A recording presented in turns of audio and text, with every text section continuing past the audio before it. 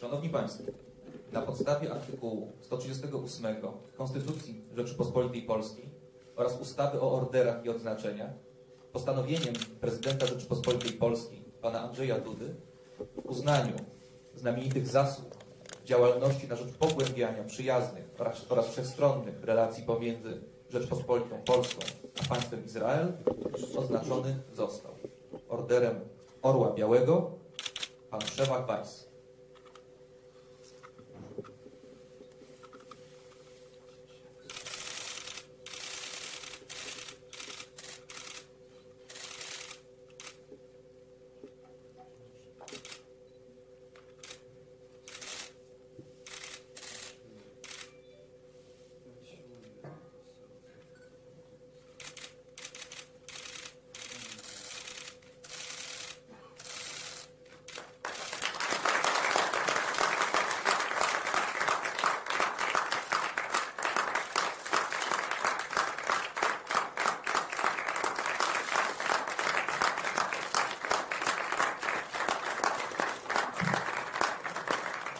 Uprzejmie proszę prezydenta Rzeczypospolitej Polskiej, pana Andrzeja Dudę o zabranie głosu.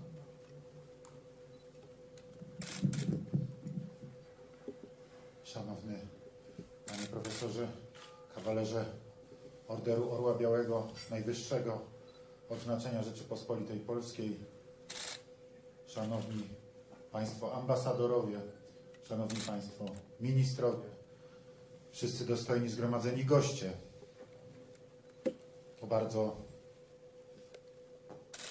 poruszająca dla mnie chwila, Panie Profesorze, że jako prezydent Rzeczypospolitej Polskiej w imieniu Rzeczypospolitej Polskiej mogłem odznaczyć Pana tym najwyższym polskim orderem.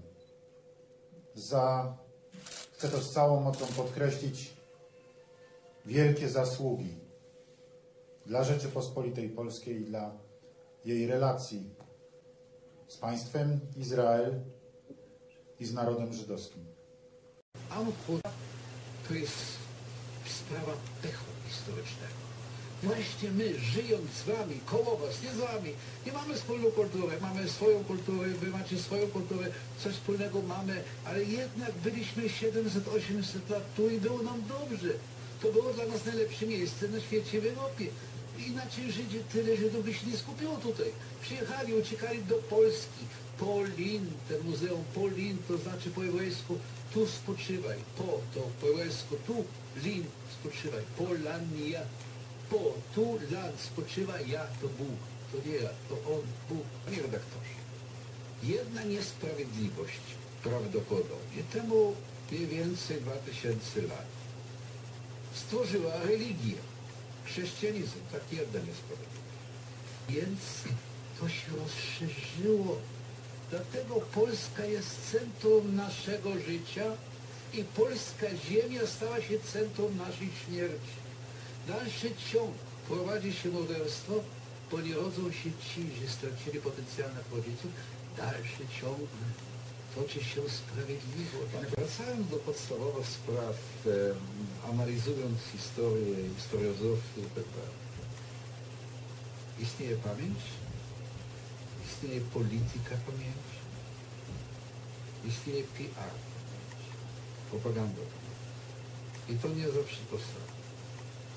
W tej sprawie naród polski nie miał okazji prowadzić samodzielną propagandę czy politykę pamięci.